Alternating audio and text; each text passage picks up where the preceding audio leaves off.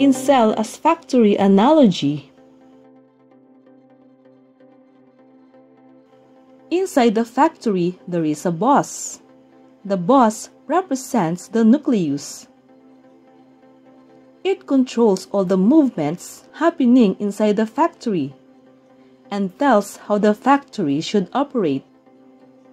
Nucleus Nucleus is considered as brain of the cell because it controls and regulates all the activities of other parts that occur within the cell. It also houses DNA, the hereditary material, as well as various proteins and the nucleolus.